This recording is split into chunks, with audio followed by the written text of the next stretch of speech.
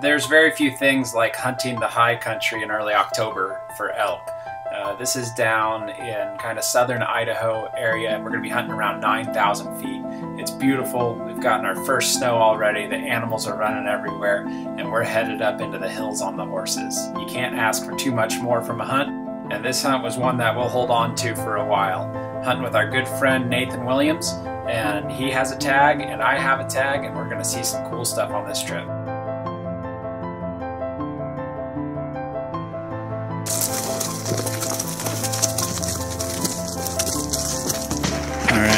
We're headed in.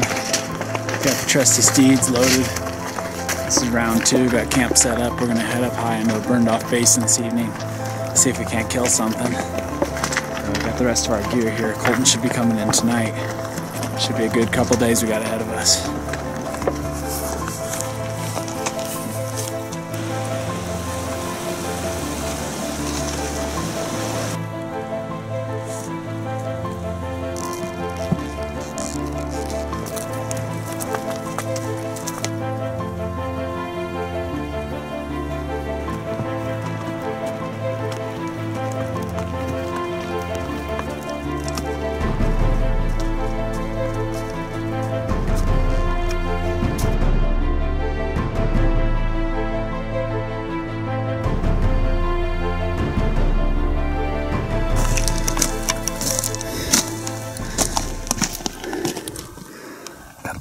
Over here. Six bulls so far I've counted. And that little draw. And we're probably gonna see some more too.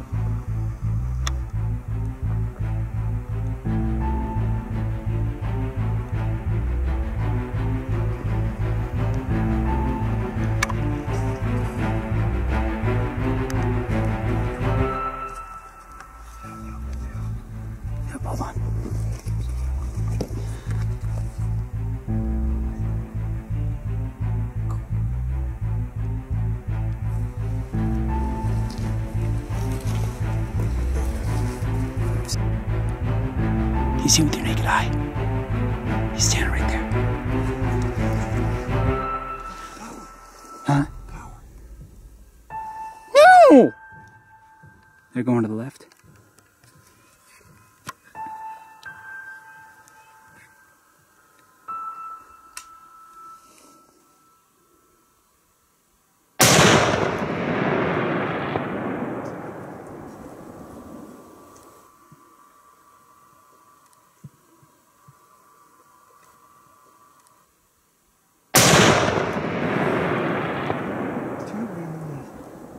He's dead.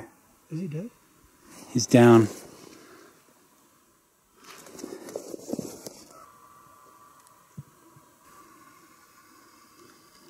Is he not down? No, there's a dead bullet there. Oh, You're out of bullets. We had to work super quick after we shot this bull. We were about five miles from camp, and we didn't have much with us, and it was only about an hour before dark. And to top all that off, he died on a super steep hill, so we had to tie him off so we could work on him. After about an hour of cutting, we got all the meat off of him and got him butchered up and put in bags and took the first pack down to the bench below where we could get the horses the next day. We spent the next few hours walking out back to the horses and then back down to camp and ended up not getting back to camp until about 11 o'clock at night. And then we started all over the next morning. My brother Colton came in around midnight and we decided to do a little elk hunting ourselves on our way to pack out Nathan's bull.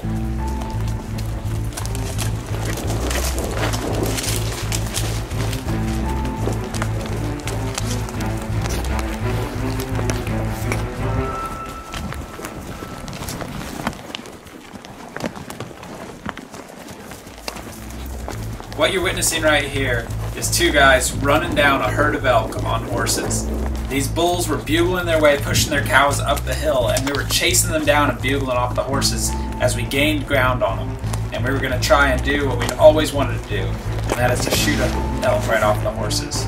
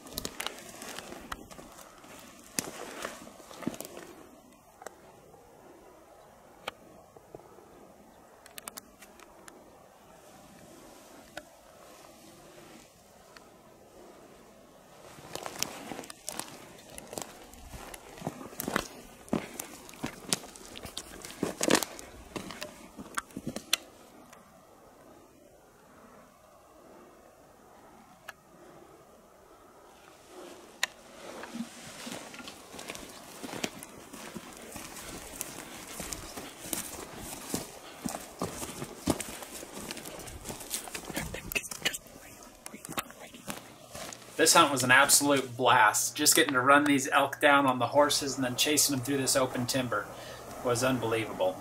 But I didn't end up taking this bull, and we kept on up the mountain. And little did we know we were going to find one of the coolest things we've ever found in our careers. Just up the mountain, a couple hundred yards. It's been a good hunt so far. Uh, passed up about 20 to 25 bulls. Hard to say exactly. Might have seen some of the same ones twice. But I'm really, you know, I've spent enough of my life compromising on things. And compromise is interesting, you know. We think that we just compromise a situation and get what we want out of the deal, and somebody else gets what they want out of the deal. Um, but I've spent enough of my life compromising, especially in so many areas of my life and hunting too you know you just you set out and you want to kill something big and you end up compromising for something small and you end up robbed of what you really wanted in your dreams and everything else. And the same principle is really true with jesus? Often we find ourselves compromising or compromising a relationship with god. You know like i got a i got a good enough it's good enough. It's a good enough relationship. Oh that's a bunch of junk really. Uh, there, we, we see in the Bible that there's no compromise. You're either all in or you're all out with Jesus. Um, and just because we're American or just because whatever doesn't mean that we're saved by any means. Uh, there's a passage in Matthew 7 that says, uh, In that day when we come face to face with Jesus, when we die, uh, many will say, Lord, Lord, did we not prophesy in your name and cast out demons in your name and do all these mighty things in your name? And he's going to say, Get away from me, I never knew you. And that's that life of compromise. That's that life of compromise. You, you've got a you've got a good enough relationship with God. You've gone to church a couple of times, but if you haven't ever given your life to Jesus, um, I really challenge you to really search yourself because if you haven't given your life to Jesus, compromise doesn't work with God. You're not going to walk away with a small elk. You're not going to walk away with a little bit of eternal life. You're going to hell. That's the that's the story. That's the end of the end of the truth there. You're not to you're not to compromise with God. He doesn't compromise. He's perfect. He's unwavering. The Bible says he's unchanging. There's no compromise. And there's no wiggling yourself out of it. You're either all in with Jesus or you're not. Can you just find a dead bull?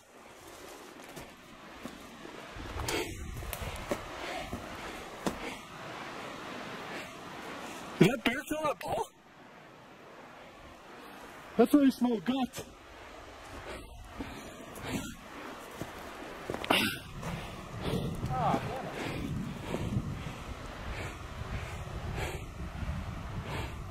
There's a black bear on it? Well, that's sick. Found a dead bull. Are the that? I don't know. You better regroup, dude. That's when you're smelling guts. Dang it.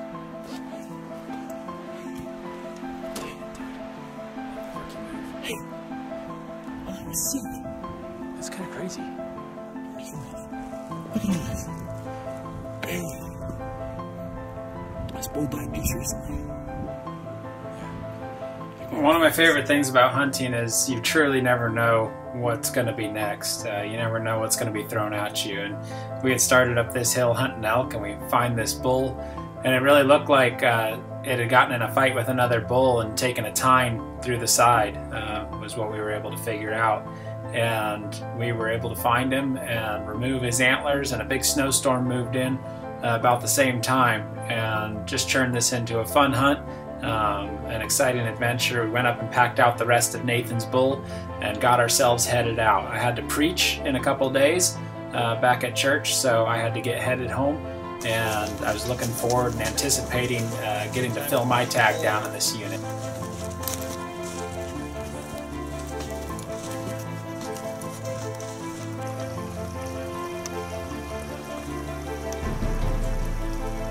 I just want to take a moment and thank you for faithfully watching our videos. If you want to check out the second part of this hunt, when I tag out on my great bull in southern Idaho, you can click on the link on your screen right now. I also encourage you to come on over and follow us on social media. Uh, we have Facebook with Limitless Outdoors. Um, if you're not a subscriber to our channel yet, there's a link on your screen right now to subscribe. Uh, and I just encourage you to do that so you can stay up to date with everything going on at Limitless Outdoors. We have a lot of action, a lot of hunts coming up, uh, and just want to keep you in the loop on those. Again, thank you for your support. God bless you, and have a wonderful day.